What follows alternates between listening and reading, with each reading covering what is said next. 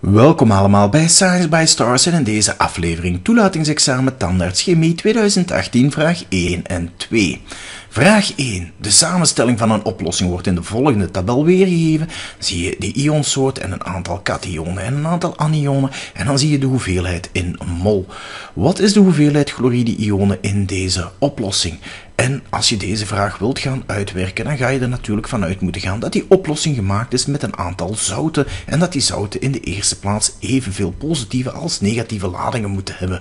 Dus dat is eigenlijk onze beginaanname. De aantal positieve ladingen moet gelijk zijn aan het aantal negatieve ladingen. En het aantal positieve ladingen is gemakkelijk. Ik ga dit omdat hij één positieve lading heeft, eenmaal nemen. Dit omdat hij twee positieve ladingen heeft, tweemaal nemen. En dit omdat hij drie positieve ladingen heeft, driemaal nemen. En dan kom ik op de totaal totale som van de positieve ladingen op 1,20 mol atomen die een positieve lading hebben. En dat moet dan gelijk zijn aan het aantal mol atomen die, uh, ionen moet ik dan eigenlijk zeggen, die een negatieve lading hebben. En over die negatieve lading weet ik hier, deze heeft één negatieve lading, dit anion. Dus dat is 1 keer 0,30 plus 1 keer x. Ik weet dat dat gelijk moet zijn aan mijn aantal positieve ladingen, want samen zijn die neutraal. Als ik dit dan uitwerk in functie van x, dan kom ik op 0,90 mol uit. En dat is meteen mijn, eerste, uh, mijn enigste juiste antwoord op vraag 1, 0,90 mol. Vraag 2. Bij welk ionenpaar bezitten de ionen zowel evenveel neutronen als evenveel elektronen? En dan krijg je hier een hoop elementen en hier weet je gewoon wat heb je nodig, je periodiek systeem en een beetje geduld en tijd natuurlijk.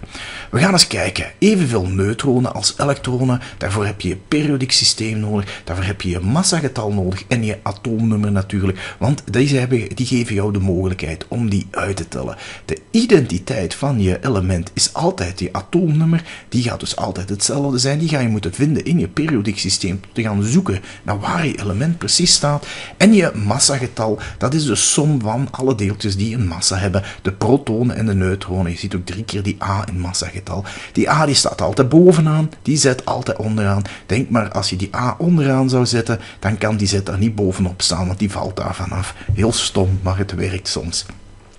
We hebben hier een aantal elementen en we gaan dus eens kijken. We hebben hier dus atoomnummer 32, dus ik weet 32 protonen. Ik weet voor de rest mijn massagetal is 72, dus ik kan ook mijn aantal neutronen gaan berekenen door hier die twee van elkaar af te trekken. En mijn aantal elektronen is ook niet moeilijk. Ik heb 32 positieve ladingen, maar mijn element hier is 3+. Plus. Dat wil dus zeggen dat er drie positieve ladingen meer aanwezig zijn dan dat er negatieve ladingen aanwezig zijn. Dus ik heb maar 29 elektronen. Als je dan eens naar zink kan kijken, zink is tweewaardig positief, heeft 30 protonen, maar heeft 2 elektronen minder, dus je 28 elektronen hebben, vandaar die positieve lading. En dan hier die twee aftrekken van elkaar, kom ik op 40 en ik heb dus 29 elektronen hier en 28 daar, dus die is niet correct. Dan gaan we eens kijken naar fluor en zuurstof. Fluor 9 protonen. We hebben een negatieve lading, dus 1 extra elektron, dus 10. En 19 is een massagetal. 9 min 19, of 10 min 19. Nee, 19 min 9, excuseer. Dat is 10. Dat is het aantal neutronen. We gaan hetzelfde doen voor zuurstof. Zuurstof gaat 2 elektronen extra hebben, dus 8 protonen, 10 elektronen en 10 neutronen. En wat zien we? Hier zijn de aantal neutronen uh, en elektronen wel gelijk aan elkaar, dus die is juist. We gaan die twee andere sowieso aftoetsen natuurlijk. Je gaat je toekomst niet vergokken. Uh, je gaat zeker zien dat je ook weet dat alle rest fout is. Dus hier voor mijn, fos, uh, voor mijn fosfors ga ik hetzelfde doen. 15 protonen, uh, 12 elektronen, 3 minder en 16 neutronen. En voor mijn silicium hier komen we op de volgende 14, 11, 16. En dat is natuurlijk niet juist.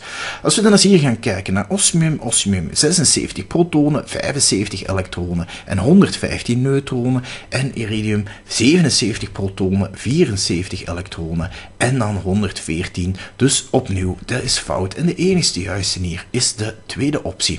Dat maakt de enige juiste antwoord op vraag 2 antwoordmogelijkheid B.